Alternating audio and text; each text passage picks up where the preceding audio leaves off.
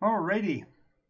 Hello, everybody. This is Jonathan, Game Master J, and welcome to Nycos RPG, the Game Master Soapbox. If you've been on watched our show before, you know the format, and if you don't, I will be explaining to you really shortly.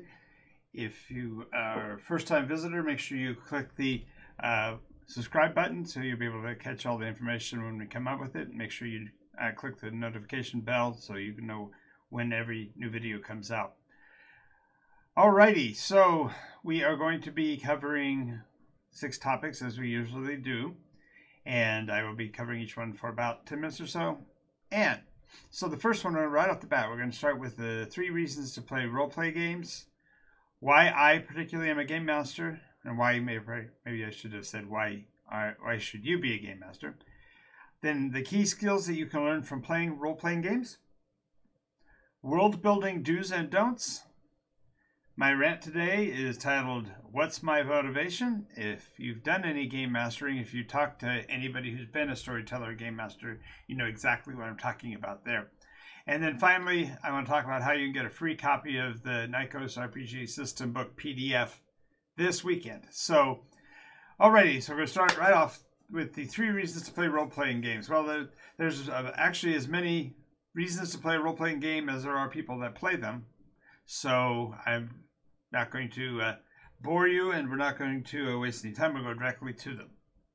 And these are the three primary reasons you should be playing role playing games. So the first one is social interaction. Our culture and our society is such that most of the time the interaction between individuals and other individuals comes down to either their work or their passion or their um, real life or their family life.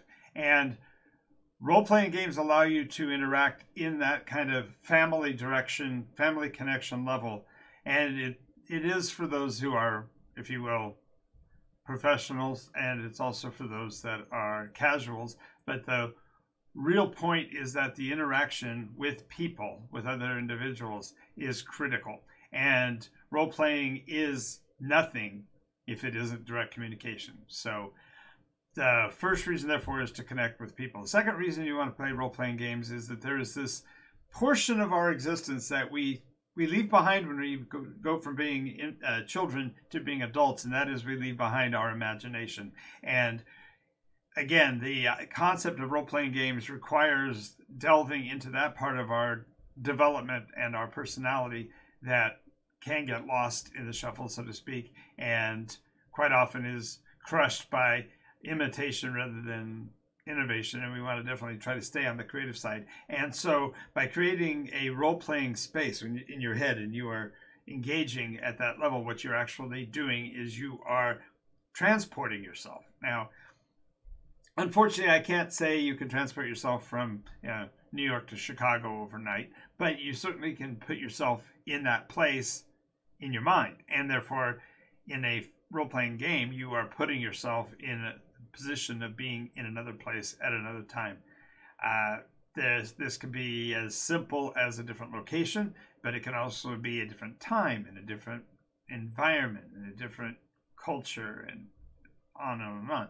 But this imaginative aspect of playing role playing games is critical to being able to stimulate our own creativity in other ways. The the idea of riding a bicycle comes to mind. We certainly all, uh, those of us that have learned how to ride a bicycle, learned it, and it literally was we didn't know how to do it. We didn't know how to do it. We practiced. We figured out the muscle muscle triggers, and all of a sudden we got it. We understood it. We accepted it, and we were able to do it. In the same fashion, if you are looking at your life and you're saying, "Well, I don't feel like I'm very creative or imaginative," get yourself into an environment where you are being imaginative at some level. And what it does is it spawns more creativity, more expansion, more wonderment and awakeness, if you will. And so that's the second reason is to build your imagination. The third uh, reason to play role playing games is that it creates the connections within your brain with people so that you're sharing that experience many times people have a great idea and they try have a difficulty figuring out how to articulate it.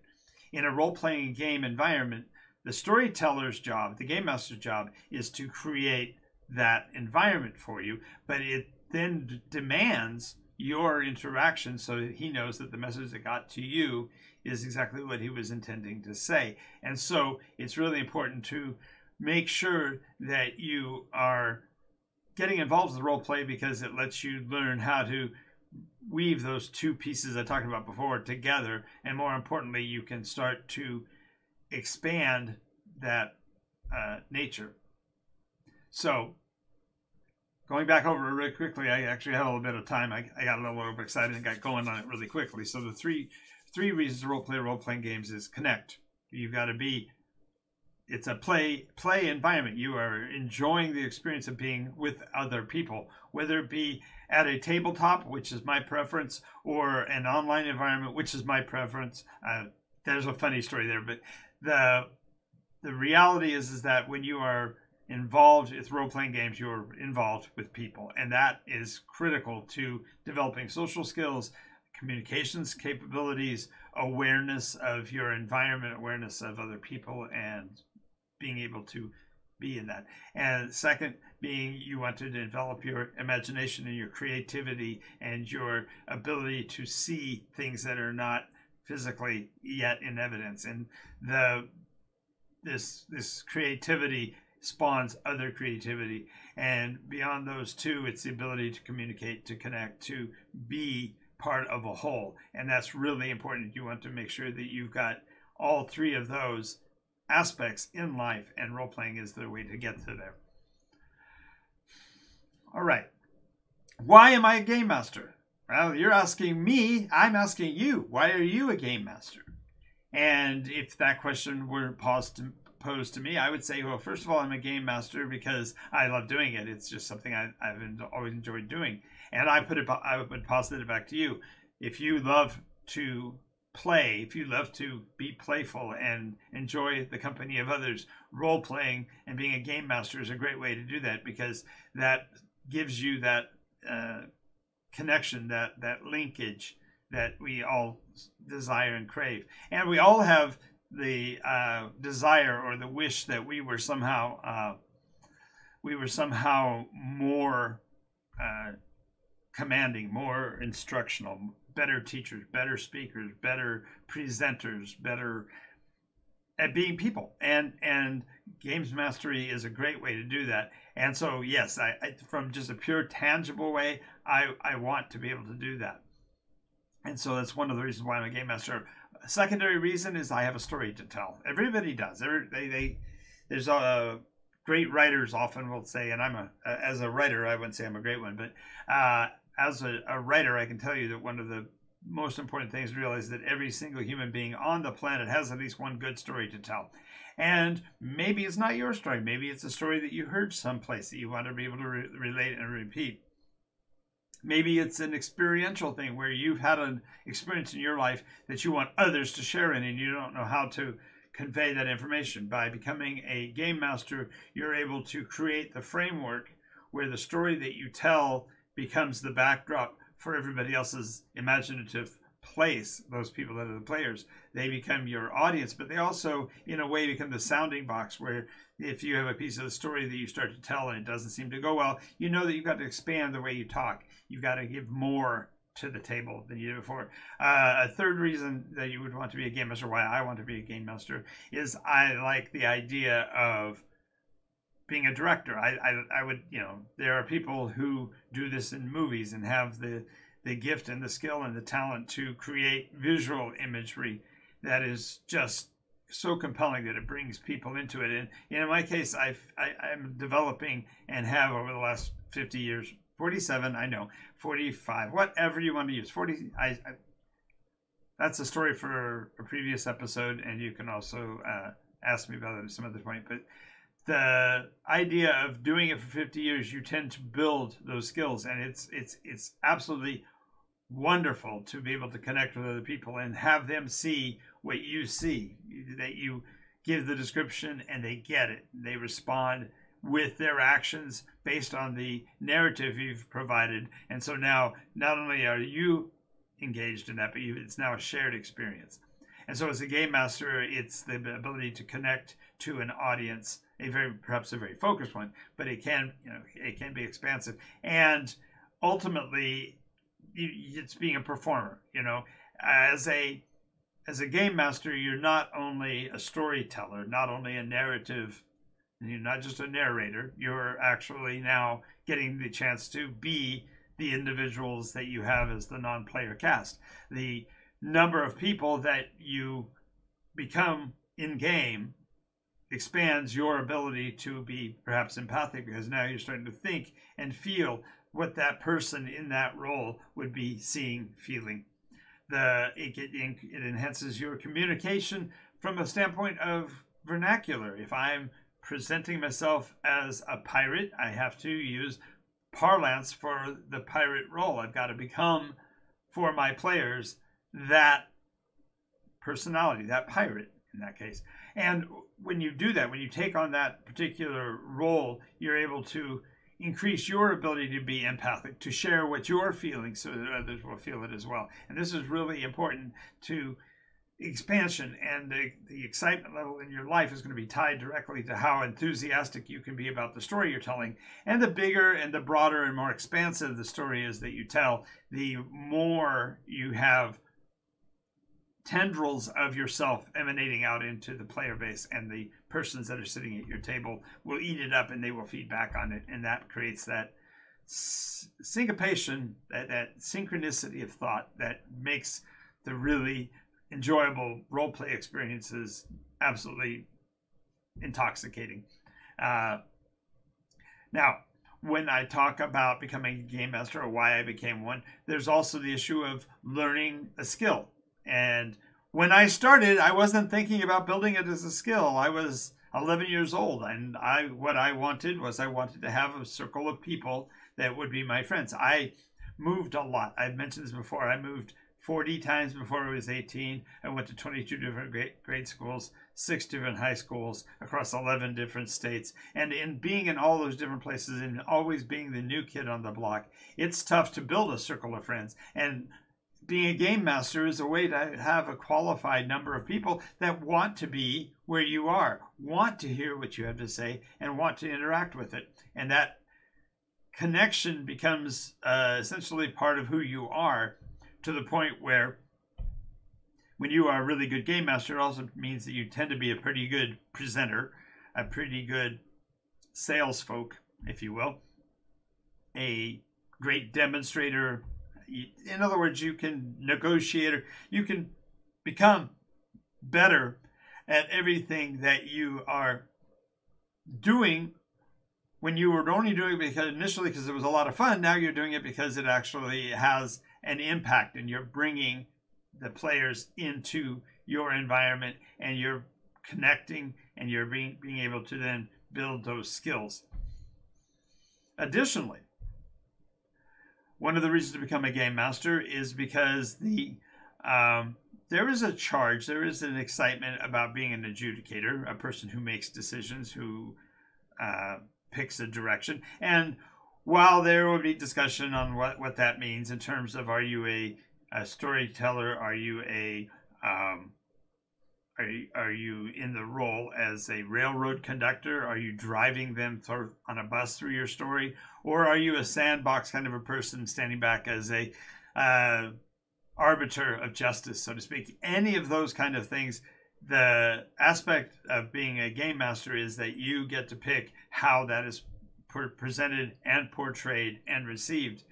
And ultimately, the, the reason to become a game master is that if you have a story to tell, and you haven't figured out how to tell it, by having a listening audience that's going to respond with you, you will be able to get better handles on how to tell the story, what parts of the story that you have to say are what people want to hear, and how much of it is just you uh, pontificating. You know, if if you are a writer, and I have been, I've written 350 books or so in the last six years as a ghostwriter when you write books and you create inf- information for people, that's often a one way track.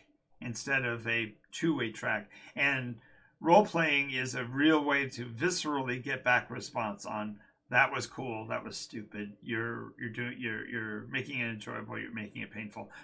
Uh, you're learning all these things about yourself as you go. So these are the reasons why I am a game master.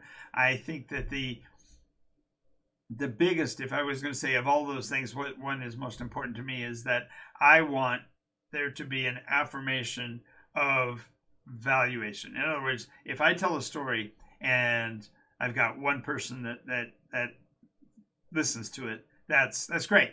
If I tell if I write a, a, a piece of fiction for a uh, another author, if I write an, a, an a, a book for someone else, and I present it to them and they like it, that's great. That's one person. But the trick is is that of course if that book is presented to a lot of people, you hope that there'll be more that would want to buy into it, eh, you know, get involved in that storyline, want to know more about the characters that you're creating. And by doing it in a live setting with players that are interacting immediately, games mastery is a great way to start to build those kind of skills. That doesn't mean everything you do gets written down, but quite often the things that you write uh, that you come up with in story become parts and elements that the player wants to interact with or wants to follow. So, alrighty. So now we're going to talk about the key skill key skills you can learn from playing role playing games. Okay, most of us know how to talk. That's an obvious thing that we are all granted with, and many of us talk more than we listen, and that's that's both a kind of a positive and a negative. But the the reality is that one of the key skills that you can develop from playing role play games is to gather information. One one way, of course, that we gather information is by hearing somebody say something, and that's that's one marvelous way to to learn. But that doesn't necessarily help us in the outcome output. We're not necessarily learning to be a good presenter, good speaker.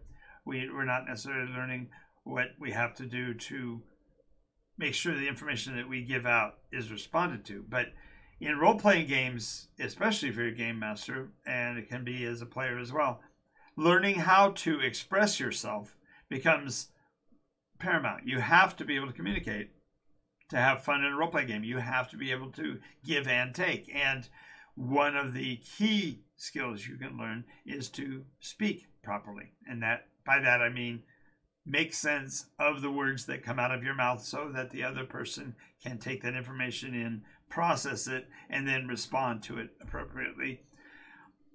This skill in communication, it comes from more than just ability to speak you become a much better listener when you are playing a role playing game. In other words, not only listen to the words that the storyteller, the game master is saying, or the players are reacting to, but more, more important than just what they're what they're saying, but how they're saying it. What emotion are you gleaning from the interaction? If it's supposed to be a scary situation and players are laughing at you or laughing with you, you've missed your target. You're not actually getting through. So you have to learn from that. And the only way you can learn from that is if you're listening. One of the great secrets, and I'm not even going to put this on the list, but one of the great secrets to being a, uh, a player of role playing games, one of the biggest things is to be far, far, far more of a listener than you are a speaker. My grandfather used to always say, You've got two ears and one mouth. So if you're going to be talking, and you spend most of your time talking, you're not being nearly as effective a communicator as you are when you listen twice as much as you speak. Now, from that, you get the also the ability to uh, take notes. The role playing games in general are, for the most part, they are a series of dice roll combat actions and a series of simple to complex puzzles that need to be solved. And some of them are moving moving parts puzzles, like uh, a conflict between two countries or the conflict between a store owner and someone in the store. These all are things that require great listening skills and great communication skills. Because if you're going to be fulfilling a role in culture or in our society, you have to be able to not only hear what the opponent has said or the, the proponent has said, and you're feedbacking off of what their response is to what you said. But now there's a, a, third nuance, and that is that sometimes there is information being conveyed that doesn't have to do with you or them. The third party, the person who is watching from on high, the person that is uh, outside of the environment, can be interacting with you while you are doing it. Now, when I started doing live uh, role play sessions on uh, YouTube, I did several years uh, through Twitch of long form shows, and you can see several dozens of those on the Nycos RPG channel. If you look, uh, there's a playlist of the old adventures that I used to run. And what you'll notice about them is that there are a group of people that are very disparate. They're very widely varied. I've got uh, young uh, youngsters that are 78 years old, and I've got uh, veteran players that are 16. So it, it and I said it that way on purpose. There is uh, there is a skill in being able to bridge communications barriers. One of which is age, another of which is culture, a third of which is gender. These are all things that have to be overcome in order to enjoy a role playing game. You have to be able to get past the parts that, that are blockages to you that might be clear to someone else. And you also have to be able to portray what you're getting from it so that the other participants can also gather and grok that, that information. So a third, third key skill is the ability to translate and to take notes. If you are not a prolific note taker, if you don't scratch down a lot of notes, learn at least to write down the names, learn to write down the places, write down the descriptions, perhaps if they're more helpful to you. The point is, is that the role playing character, whatever he is, whatever whether he or she is, whether it be a primary character or if it's a uh, sideline helper character or if it's uh, hole in the wall, I'm not sure what I'm doing kind of a character. All of these, when properly portrayed, bring to the table a fascination and a wonderment about the property itself.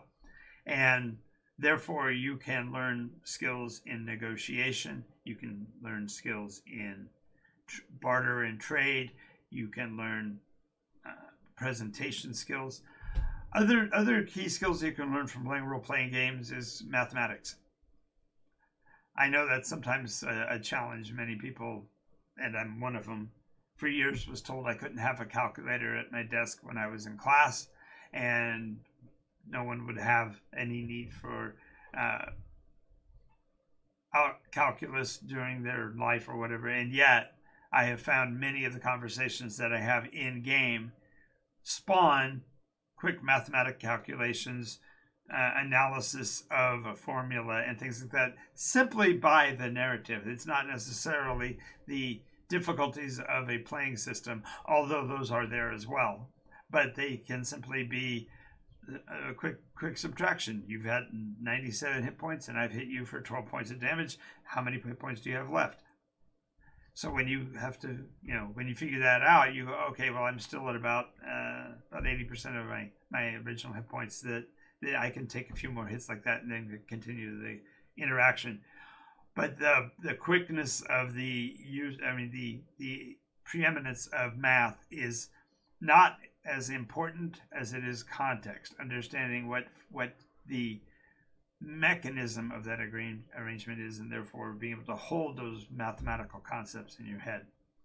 And uh, another thing you can learn from playing role play games is that uh, very rarely are things absolutely even steven fair the idea that any given uh, uh, action is literally a flip of a coin is patently ludicrous when we do when we are involved in a role playing game, especially when we are playing a character within a group.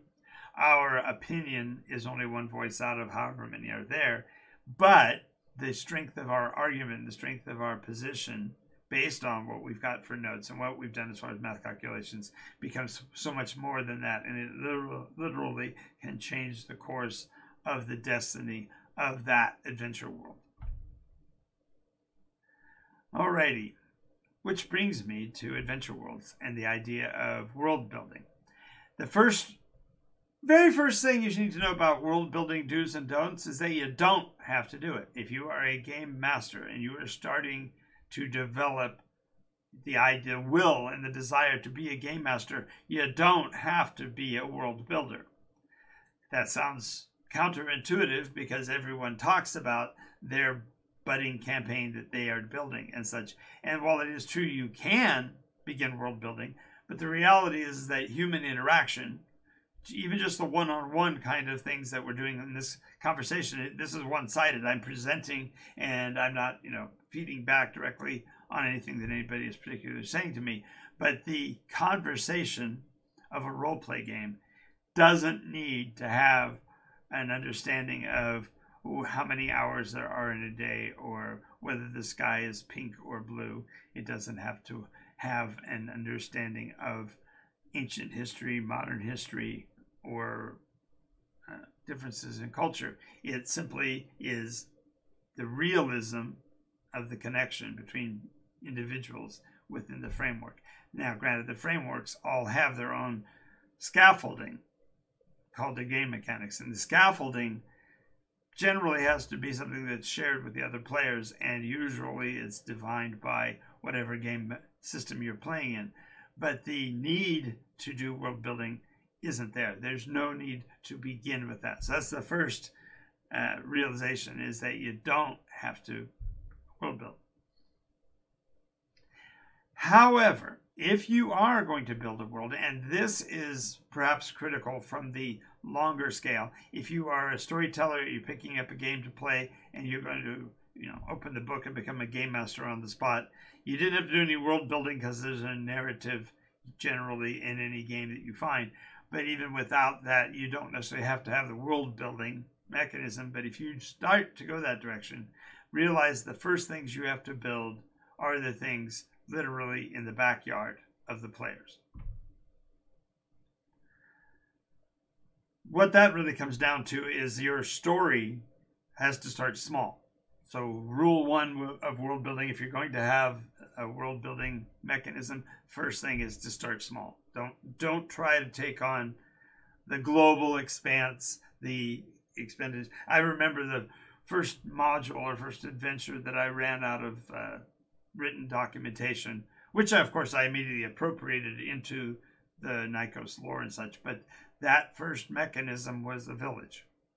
And that little village was like seven buildings in size. And it did have some tiny amount of lore tied into the families that lived there before or whatever. But that wasn't even what was necessary. The part of the world building that came from starting small is you have to have a clear picture in your mind of what the characters are going to see. Description for a game master really needs to be who, what, when, where, and sometimes the why, and sometimes the how. But the the basic same things that go into creating any literature or any uh, any writings at all. Even a journalist uses the same mechanism.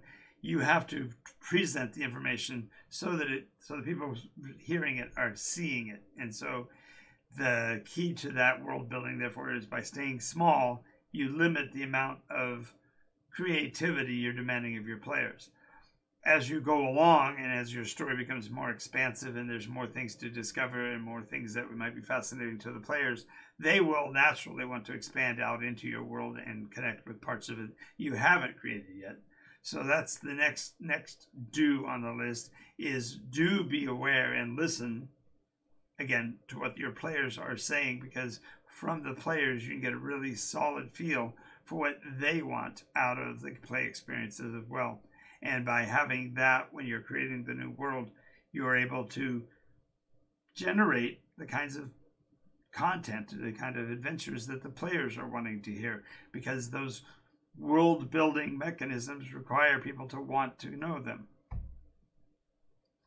In my case, going back quite a few years to the first iteration when I was like 16 years old, I had a compulsion to always have a ready answer if the players came up with a question. And inevitably, that usually, I mean, generally, that usually that generally means the players want to know about the location more than what you've taken and planned for. So just realize that you don't limit yourself. If they said, uh, you, you said it's a town and there are roughly seven buildings, and they go through and they ask you, and you delineate there's this kind of a building, and there's this kind of a shop, and there's this kind of uh, industry, and there's this kind of you know dining place or whatever. They're going to go, well, that's four. You need three more, and so they're going to keep asking. And when you fill out your seven, that's when it gets fun because at that point the players are going to go, yeah, but you didn't include a name object that they would think of being in a village and suddenly you go, oh yeah, across from the the place that I already described, there's another one, and then you have to take a note. Also, you have to realize that world building isn't just what the game master does, but world building is what the players do when they interact with that world. If, for example, there is a law in a community that says there will be no street fighting. There will be no drawing of weapons on the main streets of town. Inevitably, one or more players are going to challenge that and they're going to pull a weapon or they're going to get involved in a conflict or they're going to start a fight. And you have to learn how to embrace that and decide what you're going to do with it. As a world builder, the mechanisms, the actual game mechanics, are second fiddle. But what's of primary note is what you are doing with that story. Is it meant to be a hard and fast law that no one can break? And if so, how are you going to enforce it? Or conversely, if it's not a hard and fast rule, maybe you know why it was started and where it came from, or you can imagine and create that information and create for yourself that portion of the backstory. So realize that the world building process is a, a is, is a do. You're going to be saying yes and a lot. You're going to be building on what other people tell you. But you have to realize also that as the game master, as the world builder, you also have the ability to say don't. And so the world builder don'ts category is don't allow players to violate basic concepts that you put into the game without at least giving some interaction and response to their their pleas and their complaints. Uh, another part about world building that you need to think about is the visualization. I talked about the the who, what, when, where, why, but you need to also have a clear understanding of relationships. You know, if the bar is down the street from the church, how does that work out? Does the do the people from the church get upset with the people who are alcohol, you know, involved with alcohol and the party environment? Are, there conflicts there? Is there outreach? Is there a connection between them? These are all things that, as a world builder, you have to start looking at not just the actual facts, but the expanded reality beyond the facts of the situation. If there is a bar and a church in the same little town, why do, why does why do they both exist? What may have happened in the past that would put them in the position of being where they are, and this kind of thing. So realize that the element of creativity that is world building really stems to stems from your ability to clarify and isolate what each of those things means in your terms. I was started to uh, vary off of this story with them with the concept of me being a young game master when I finished first finished the arc. And one of the things that I had done once I got to the conclusion of the arc was realize I've got to find some way to make this a compelling story for others. And so, yes, I took notes myself. I did some creativity, but you also have to do a lot of introspection, and that is get to know yourself better and get to know what that world means. If it is simply a list of place names, you could do that with a random name generator and some online tools, and you wouldn't have to do any mental gymnastics or work with it. But instead, if what you're doing is you have a story to tell, you have to figure out how to convey that story.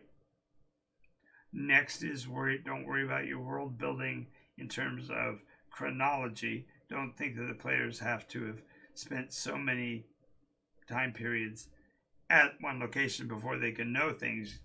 Certainly, we pick up things all the time from a direct and indirect contact all the time.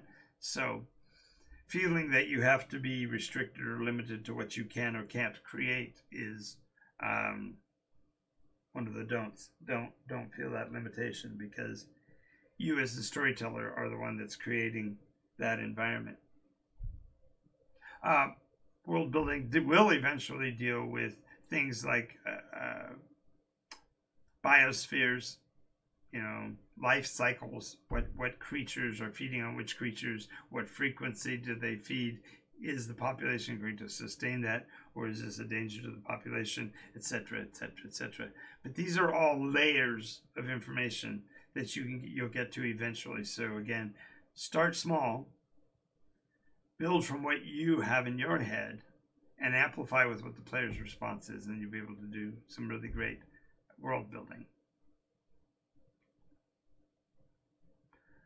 Alrighty, I didn't get a good segue into this part, but now comes the rant. And as usual, I'm going to wait till the clock rolls over the top of the minute, and that way I keep myself on task because I tend to drift and meander, and the more I can stay on the point that I'm trying to get across, the better off it will be. Alrighty. When players sit down at your table and they provide you with their character sheet and background, the background was an element that was only added in the fifth iteration, fifth edition. I'm sorry, fifth edition. And by the way, you'll by watching the channel, you figure out what the difference is between iteration and and an uh, edition. But the phrase that I used to really have to grind over, and it isn't so bad with the um, backstories, is what is my motivation? What is my character doing in this scene?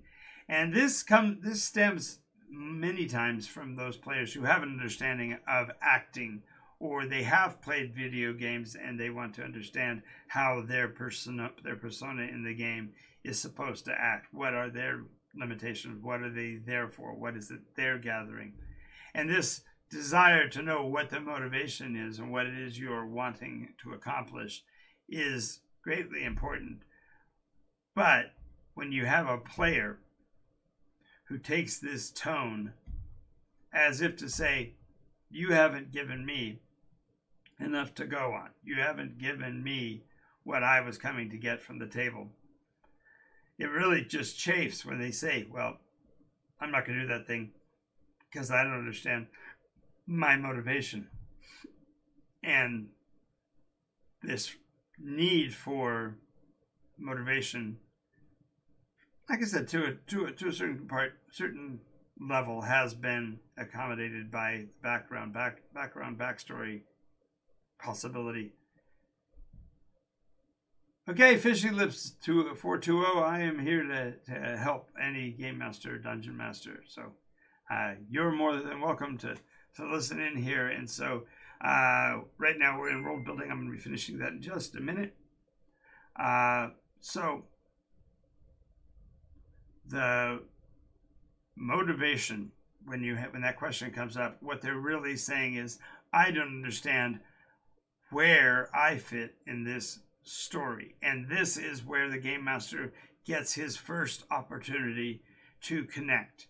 Because by talking to the player and asking them questions, rather than having them ask you what's motivation, you say, I I'd love to know. I'd love to help you figure that out. So why don't you tell me something about the character? Tell me about your background, what your thought processes are, and get them to feed information to you. And when they do that feeding of information to you, then you can get a handle on what they are really looking for. Because that remember that issue of always wanting belonging? The players want to belong to something, they want to be a part of the story.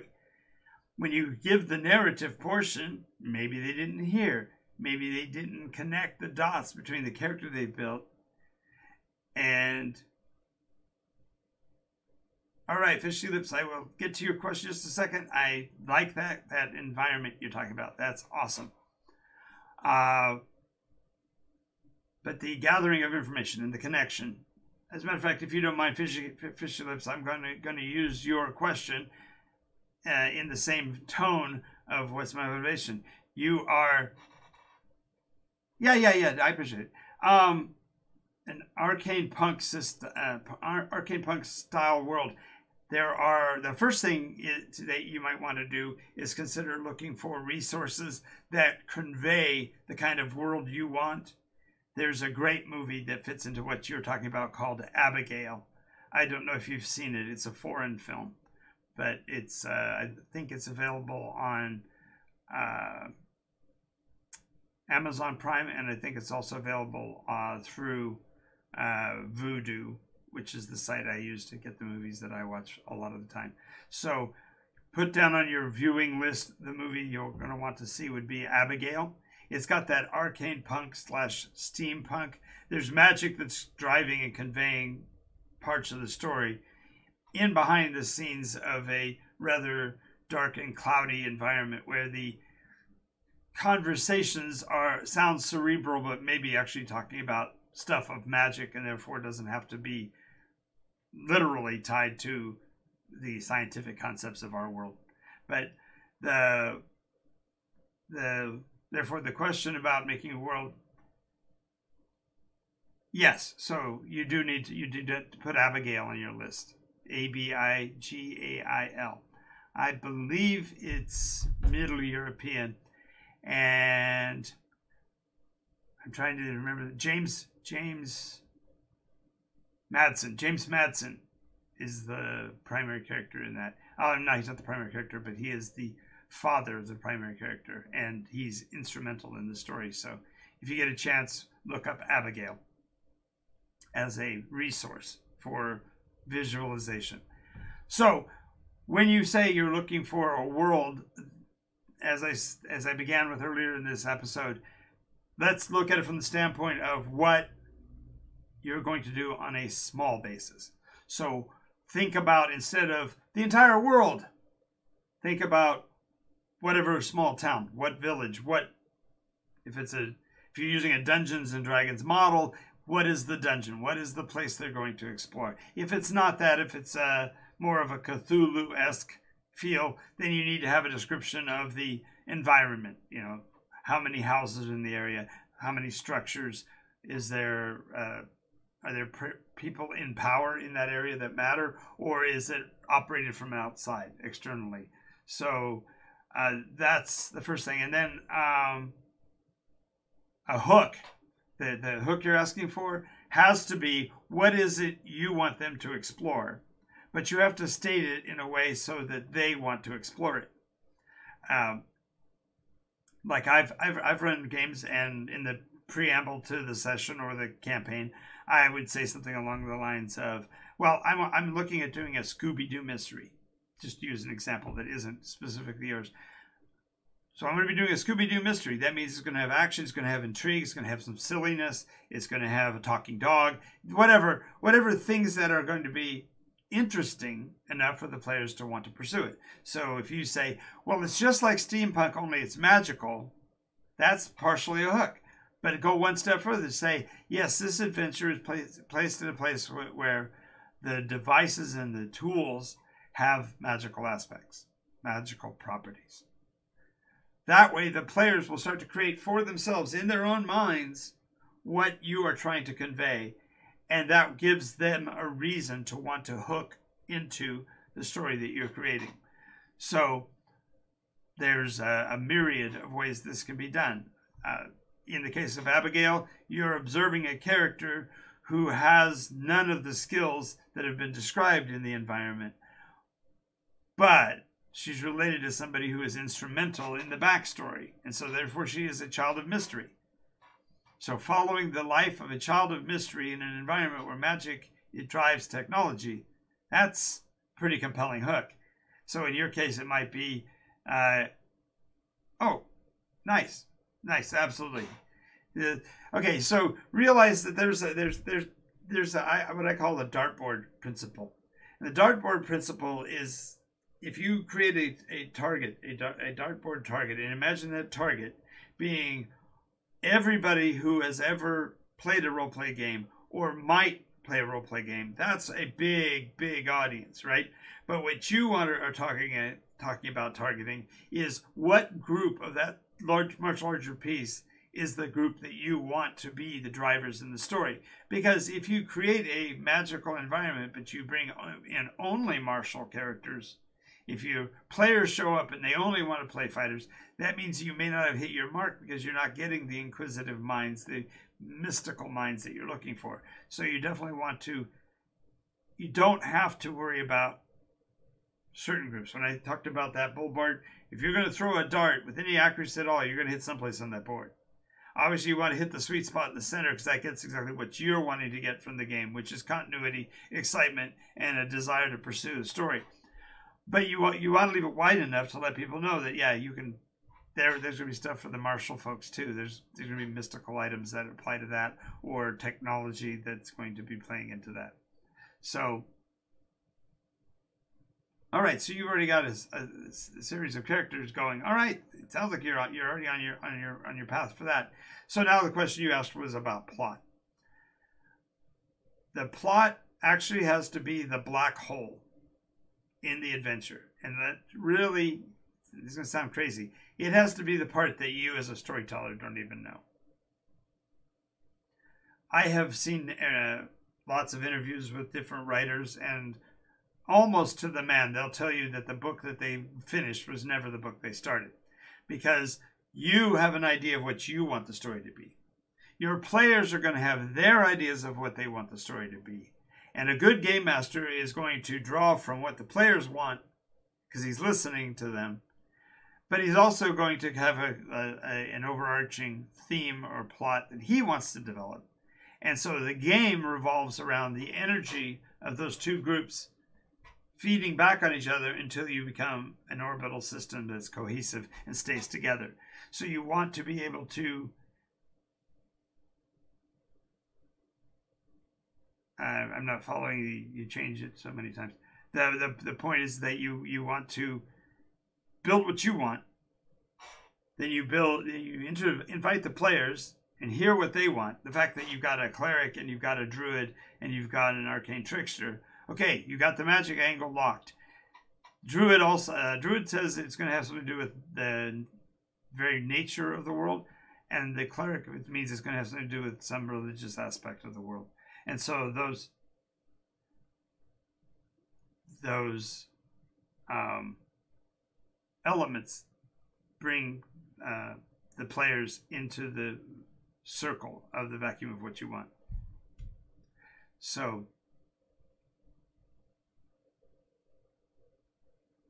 when you have when you're concerning the motivation of your players, you're in effect right now asking the same question that I am asking, and that is, how do we get past the what's my motivation? How do we get past that? And the way we get past that motivation, the way we get back to our story, is that we have to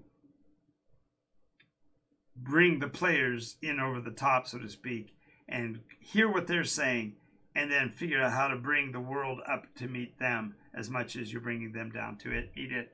Therefore the plot really the element of mystery really shouldn't be something that's pre-planned. Now this is uh, one of the greatest advantages of utilizing a role-playing system like the Nycos RPG because it doesn't have those kind of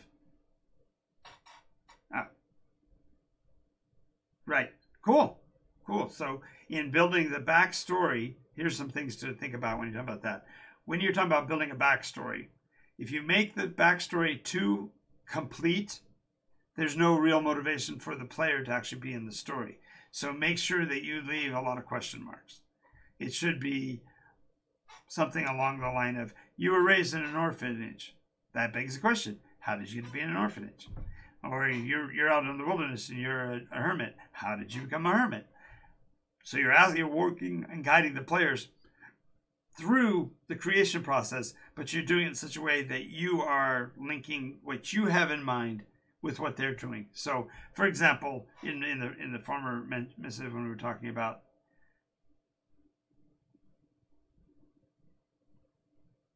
Okay, so I'll answer that question the easiest way possible. When I started dealing with people who played clerics, I determined that the characters in a story at lowest level, when as most people run their campaigns as the hero's journey, therefore the players always start out at really ultra low power levels. Realize that the gods, the powers that you have that are revolving around the world, that are the defining pantheons that create the religions of the world, these organizations may be so highly developed that the player character is insignificant until they reach some threshold.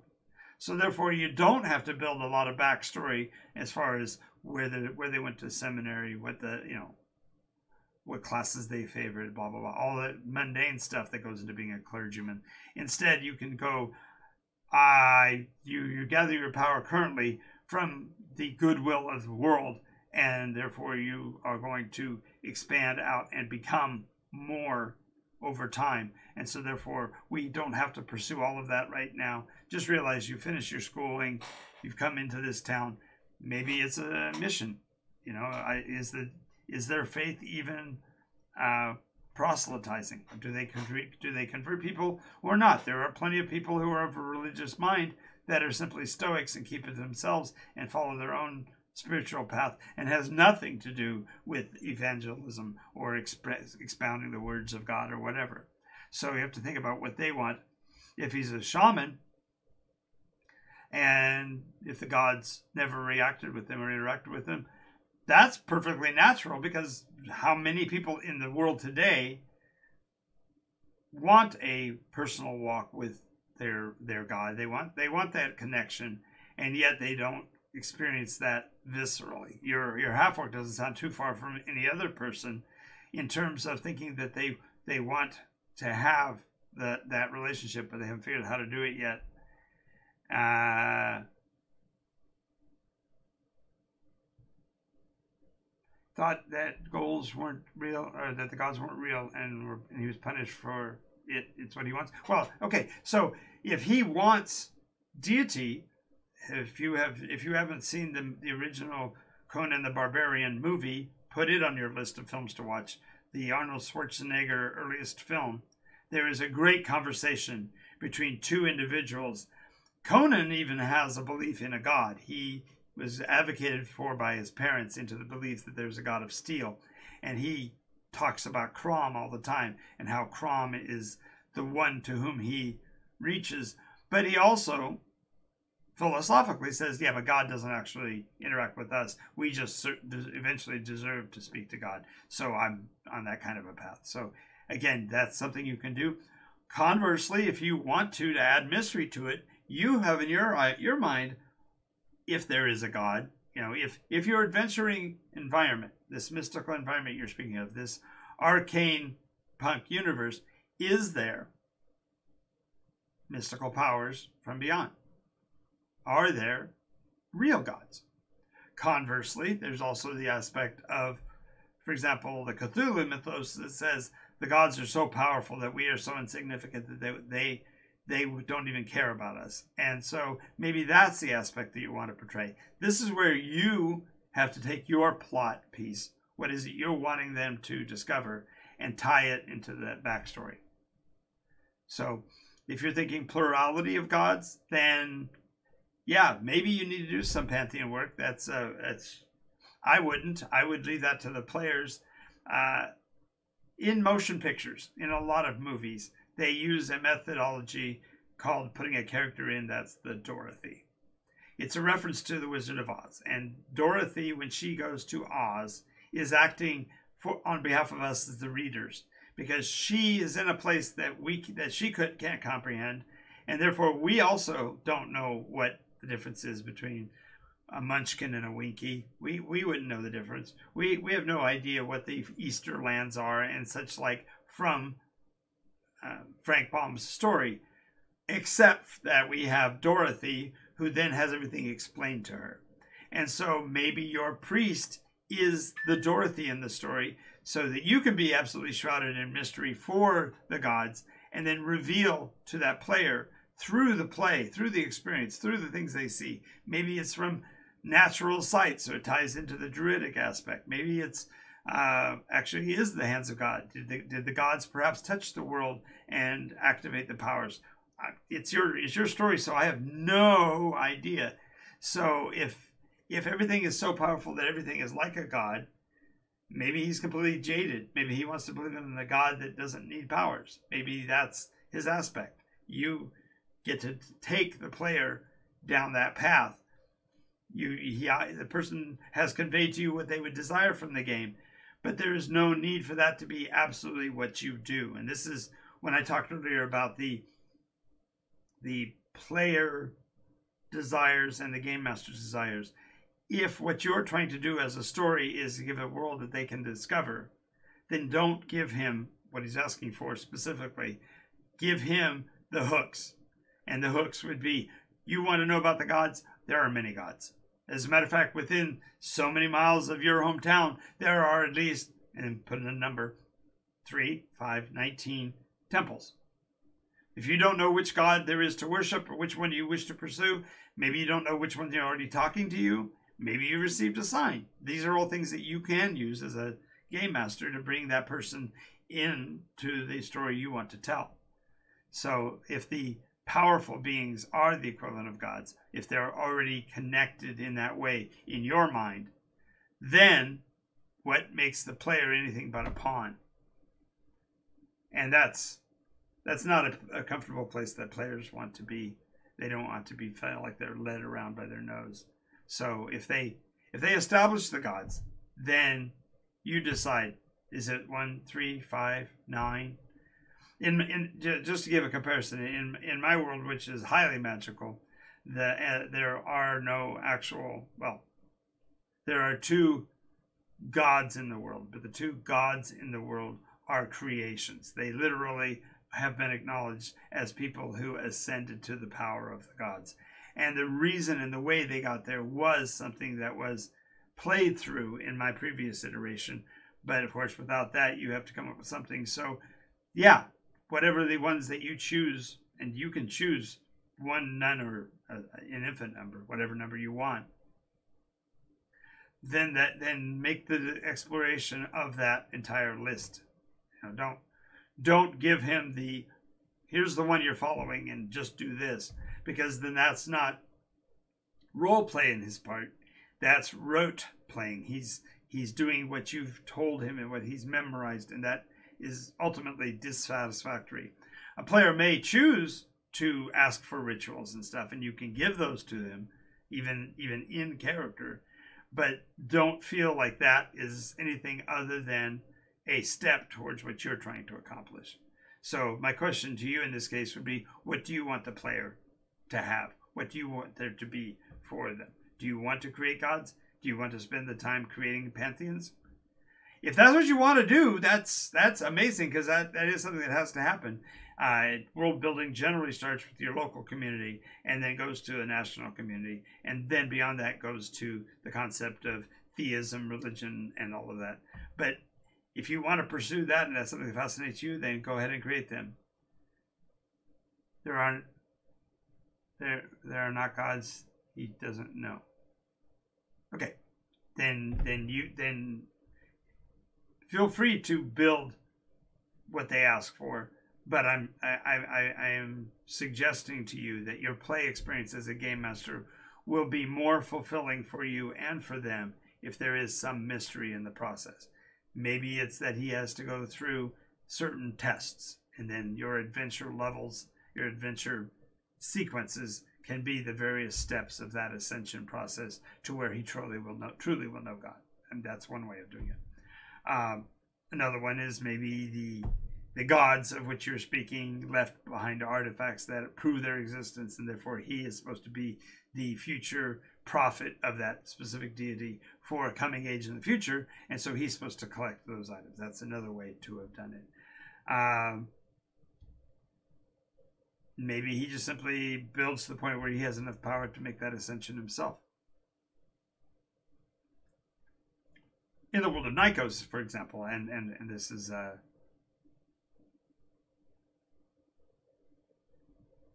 okay. So either his faith is a lie or that his faith is in something beyond what the world has. So maybe his faith will be enough to reinstate or establish two sides of a possible coin that that God name that he believes in. Maybe he will manifest that being in his being by fulfilling the tasks or whatever you have in mind. But it doesn't have to be this developed. You're you're overthinking what you need to bring the hook onto the player. So if he says, I want to play a cleric and I want to follow a god, say, Great, here you go. And then chip away at that belief over time, letting him discover that the God he's been worshiping has been a false one. But that then begs the question where did his power come from? If that person that was a God finds out that he's going to discredit him, that power is going to go away. At whenever point that happens, does the player mani- still manifest clerical abilities? And if he does, where is that coming from?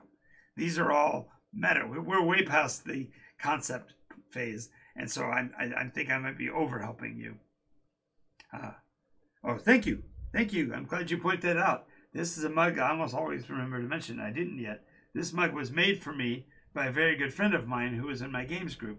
He 3D printed it and he painted it and he didn't sign it, but his name is Day and it's amazing. It's an amazing cup. And uh, I have access to them, so if you want some, I can get a hold of them and we can possibly uh, make them available to our members. But we are coming up to the end of what was my original show time, so I do want to uh, go into uh, how to get a free copy of the rules for the Dark Shard system.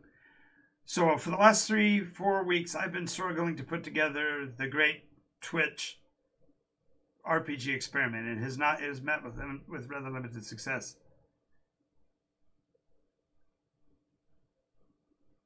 Oh, cool cool, cool. The the way you, you would get involved with this is that Saturday morning at 10 a.m. I'm going to be running a game and I'm using the template at startplaying.games.